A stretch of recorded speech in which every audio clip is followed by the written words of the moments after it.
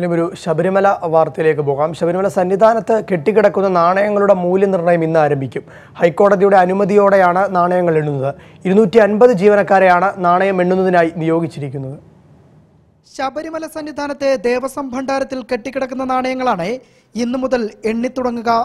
മണ്ഡല മകരവിളക്ക് കാലത്തെ നാണയങ്ങളാണ് കാണിക്ക ഇനത്തിൽ കൂടുതലായി ലഭിച്ചത്. എന്നാൽ തീർത്ഥാടകത്തിരക്ക് കൂടി വന്നതോടെ സീസൺ കാലയളവിൽ നാണയങ്ങൾ എണ്ണിത്തിട്ടപ്പെടുത്താൻ കഴിഞ്ഞിരുന്നില്ല. ഇതിനാലാണ് കെട്ടിക്കിടക്കുന്ന നാണയങ്ങളുടെ മൂല്യനിർണയം നടത്താൻ ദേവസ്വം ബോർഡ് ഇപ്പോൾ നടപടി ആരംഭിച്ചിരിക്കുന്നത്. ഹൈക്കോടതിയുടെ അനുമതിയോടെയാണ് നാണയങ്ങൾ എണ്ണിത്തിട്ടപ്പെടുത്തുന്നത്.